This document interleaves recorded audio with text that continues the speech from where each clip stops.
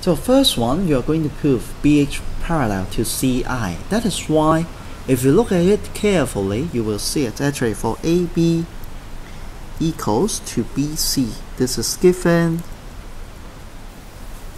And then to know it will be BE parallel to CG also given. So you can have the conclusion will be like AE equals to EG. This one will be the intercept theorem. So after you prove these two they are equal, and then you can actually consider this one and this one. So you have EH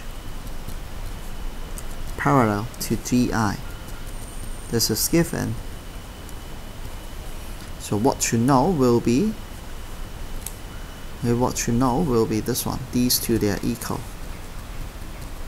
AH equals to HI. Again, intercept theorem. And last one will be because you know AB equals to uh, BC and AH equals to HI. Therefore, actually for BH parallel to CI, this is the midpoint theorem. Okay, so this is A.